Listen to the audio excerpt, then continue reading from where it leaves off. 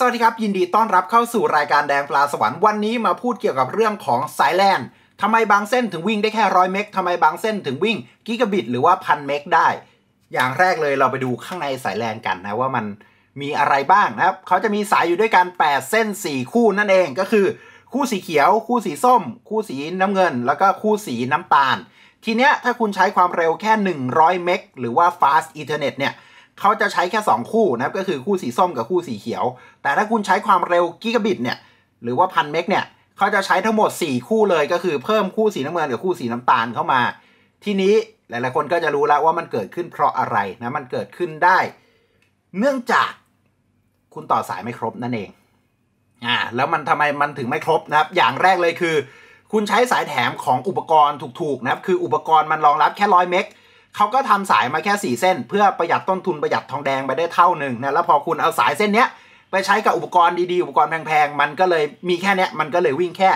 ร้อยเมกนั่นเอง หรืออีกหนึ่งสาเหตุนะครับก็คือ คุณเข้าหัวสายไม่ดีนะครับคุณเข้าหัวแล้วมันติดแค่คู่ส้มกับคู่เขียว ส่วนไอ้คู่น้ำตาลคู่น้ำเงินมันไม่ติดนะมันก็ยังใช้ได้อยู่ที่ความเร็วร้อยเมกนะครับจริงไหมมาดูกันอ่าผมมีโน้ตบุ๊กอย่างนี้เสียบสายแลนไปฝั่งนี้ผมก็ เสียบเข้ากับเราเตอร์นะครับ จะเห็นว่านี่ 2 คู่นี้ยังปล่อยๆอยู่นะครับ เสียบไปแค่ 4 เส้นนะครับ ผมเปิด Network and Sharing Center ขึ้นมา อ่า กดปุ๊บ อินเทอร์เน็ตตรงนี้ เห็นไหม ความเร็วที่ได้ก็คือ 100 เมกนะครับ สายแลนนี้ยังใช้ได้นะครับ ยังใช้ได้อะลองเข้าเน็ตเข้าอะไรดู เปิด YouTube ดู อ่า เห็นไหม ทุกอย่างยังใช้ได้ปกติ แค่ความเร็วมันจะตันแค่ร้อยเมกนะครับ นี่คือปัญหาที่บางคนบอก speed test ทำไมได้แค่ร้อยเมกนะครับ ทีนี้เรามาดูสายแลนที่ เข้ามาครบ 8 เส้นกันบ้างนะครับ นี่เส้นนี้เห็นไหมว่า สายเข้าครบเลย 8 เส้นนะครับ ขาว